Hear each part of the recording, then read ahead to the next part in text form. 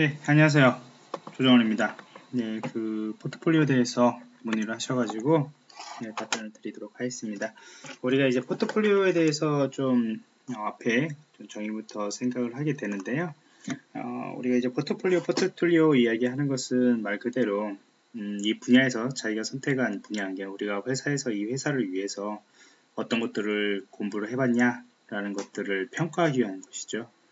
어, 말 그대로 이제 그 그냥 이력서에다가 내가 뭘 했어요? 첫 번째 뭘 했어요? 두 번째 뭐 했어요? 이건 어떤 수준이에요? 어떤 수준이에요? 라고 표기할 수도 있습니다. 물론 이것을 가지고 면접할 때 그냥 물어보면 다 티가 납니다. 이게 어 이것들을 해가지고 이렇게 했다고 하는데 요거에 대해서 이제 면접관들이 기술을 알고 있다면은 뭐 물어보겠죠. 몇 가지 정도 물어보면은 한 두세 가지만 물어보면은 이 친구가 어떤 수준인가? 네, 바로 티가 납니다 어, 하지만 이거를 이제 포트폴리오로 이제 만들어 잘 만들어 가면은 이 포트폴리오 만들어 가는 때몇 어, 가지 이제 평가를 할 수가 있겠죠. 첫 번째는 어, 어떤 기술이겠죠.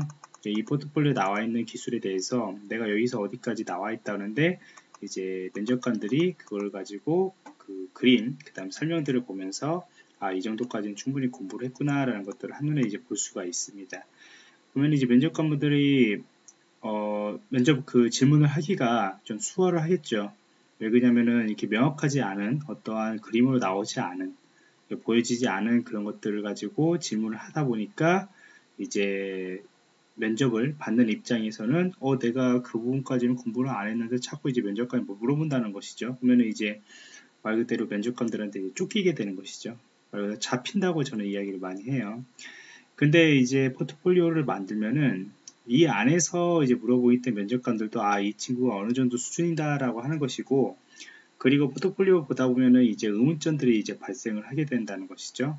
그래서 의문점들이 발생하면은 그런 거 그 안에서 이제 질문을 하게 돼요. 이 밖에서 질문을 하기보다는 이 안에서 이제 질문을 하게 되는 것입니다.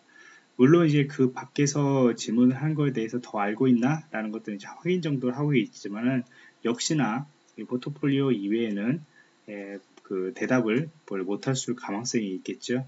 그거는 이제 어느 정도 이제 이해를 하고 들어가는 거기 때문에 조금 더 자기가 원하는 답변, 이게 면, 그 면접을 보는 사람들 입장에서는 그 포트폴리오 내가 어, 준비를 했기 때문에 그 포트폴리오 안에서 어, 그 면접관들을 이렇게 예, 어, 그 질문들을 어느 정도는 이제 그 포트폴리오 안에서 예상을 할 수 있다라고 볼 수가 있다는 것이고요. 두 번째는 뭐냐면은 이제 보고서 작성하는 것이죠. 어, 이 포트폴리오 작성을 할 때는 어떤 DOC 파일로 작성을 하던 그 다음에 PPT로 작성을 하던 작성을 하게 될 겁니다.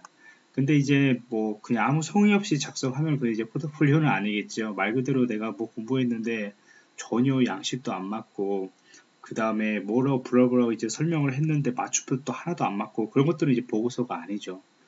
어, 그렇기 때문에 이제 포트폴리오에서 좀 신경 써야 할 것은 보고서입니다. 이게 그 제가 PPT 장표를 한다면 그 PPT 장표에서 내가 무엇을 말하고 있는가 아니면 내가 어떤 것들을 공부를 했는데 어, 어디까지 내가 고민을 했는가에 대해서 하는 것이고요. 그 다음에 이제 보고서라는 것은 나중에 이제 실무로 가면은 말 그대로 어, 어떤 고객들한테 전달하는 결과물이라는 것이죠. 고객들한테 전달하는 결과물 같은 경우에는 맞춤법도 굉장히 많이 신경을 써야 한다는 것이 개요 번호부터 그 다음에 그림을 어떻게 캡처를 했는지 그 다음에 그림에 대한 캡션들을 어떻게 줬는지에 대해서 그리고 설명에 대해서 용어들도 문장 같은 경우에도 전문 용어들을 어떻게 풀어서 썼는지에 대해서도 중요한 것이고 그 다음에 그 전문 용어들을 어떻게 표현을 했는지에도 다 중요하다는 것이죠. 그러니까 이제 그 포트폴리오만 보면은 아 많은 고민들을 했구나 아니면은 아 이 정도면은 자기가 알고 있는 지식을 굉장히 어, 고객들한테 쉽게 설명할 수 있는 그런 기술들을 가지고 있구나. 어떤 고객들 앞에서 가더라도 이거에 대해서 잘 설명할 수 있다는 것들이 어, 표가 나는 것입니다. 그래서 뭐 질문을 하지 않더라도 포트폴리오 보고 질문을 하지 않더라도 그 보고서만 보더라도 어느 정도는 어, 이거 이, 이, 사람을 바로 이제 실무에 투입할 수 있을지 아니면 바로 내가 마음에 드는 이 조직에 들어와서도 굉장히 많은 어, 시너지가 발생할 수 있다는 것들을 볼 수가 있습니다. 그래서 뭐 정말로 자기가 뭐 물론 이제 뭐 다른 사람들 다른 조원들이 작성한 것을 같이 들고 올 수는 있겠죠. 근데 이제 지, 이거는 거의 다 질문을 해보면 안, 안다니까요. 거의 다 다 압니다. 보고서 작성하는 것들도 이렇게 말을 해보면 그 사람하고 말을 해보면은 자기가 직접 보고서를 작성했을 때하고 그 다음에 이제 다른 사람들이 작성한 것을 보고서를 가져왔을 때하고 면접에서 말하는 걸 보면은 어, 압니다. 왜냐면 이제 많이 자기가 보고서를 작성을 해봤다면은 머릿속에 벌써 정리가 다 되어 있거든요. 그 정리한 것들이 이제 면접 때 어, 나오는 것인데 그거는 티가 나는 것입니다. 어, 이런 것들 때문에 이제 포트폴리오를 저희들이 이제 작성을 하라 그렇게 많이 이야기를 하는데 물론 이제 포트폴리오 없이도 합격하시는 분들도 있습니다. 뭐 그거는 뭐 그 회사에서도 뭐 포트폴리오 이외에도 다른 것을 지표를 통해 가지고 평가할 수도 있는 것이고요. 아니면은 이제 뭐 사람들이 정말로 많이 필요한데 그 중에서 지원한 중에서 그나마 이 사람이 더 낫구나 라고 어, 표현하는 거 예, 그런 것들도 좋다는 것이죠. 어, 그리고 이제 포트폴리오를 준비하라는 것은 뭐냐면은 또 이제 발표를 시키는 곳이 많이 있습니다. 발표요. 어, 컨설턴트 같은 경우에는 발표가 되게 중요하거든요. 어, 고객사들한테 어떤 보고서를 전달을 하고 그 보고서에 대해서 내용을 어, 고객사 그분들이 어떤 운영자, 그 다음에 개발자, 그리고 나중에 임원들한테 이제 발표를 하게 되는데 그 각 단계마다 발표를 할 때 그 발표를 하지 못한 게 발표를 잘 못하면은 어, 표현하는 방법을 모르면은 자기가 아무리 보고서를 잘 쓰고 그다음에 결과물이 좋다고 모이킹을 했을 때 그 결과물들이 많이 좋다고 하더라도 발표 하나로 어, 단락이 정해질 수가 있거든요. 그렇기 때문에 이제 나중에 이 포트폴리오 나중에 실기 그 임원 면접이나 볼 때 이런 발표들을 시키는 경우들도 많이 있습니다. 그렇기 때문에 미리 자기가 그 연구했던 것들을 어, 작성하라고 그렇게 저는 그 보내드리고 있고요. 이제 두 번째는 뭐냐면은 그러면 이 포트폴리오를 작성을 할 때 어떻게 하면 좀 쉽게 좀 접근할 수 있냐라고 했을 때 어, 많은 공부들을 하게 되는 것이죠. 이게 자기가 이 분야에 왔으면은 음, 말 그대로 이제 모의해킹 한다면 이제 웹 해킹, 그 다음에 시스템 해킹, 그 다음에 일부 이제 프로그래밍 언어 등 이렇게 복합적인 것들을 이제 공부를 하게 되는 것이고 관제 같은 경우에도 패킷 분석, 로그 분석, 그 다음에 기타 악성 코드 분석에 대해서 어느 정도 어, 공부를 하게 되는데 이것들을 모두 다 공부하고 난 뒤에 나중에 이제 뭐 한 방에 포트폴리오를 작성을 하겠다라고 생각하시면 하지 마시고요.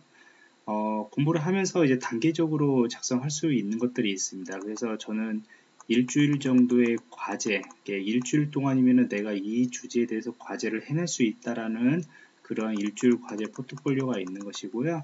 그 다음에 이제 뭐 한달 어, 정도 아니면 뭐 한 3주 정도 조금 어, 내가 고민을 하고 어떤 분석 같은 것들 그러니까 요 같은 경우는 보통 뭐냐면 이제 샘플 악성 코드 샘플 분석을 하더라도 일주일 만에 끝내는 보고서가 있고요.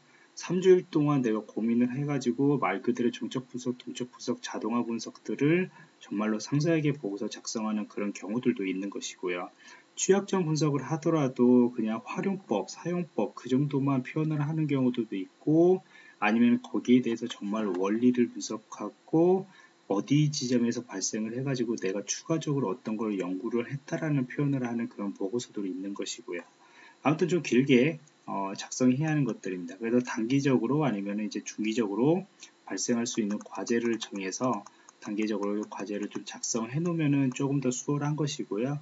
이것들을 이제 좀더 총합적으로 해가지고 내가 실질적으로 이거를 뭐 한 두 달 정도 아니면 뭐 4주 이상 정도 한 달 그 정도 해가지고 이 종합 포트폴리오를 만드는 경우도 있습니다. 모이킹 같은 경우에는 제가 이제 시나리오 기법으로 많이 작성을 하라고 이야기를 하죠.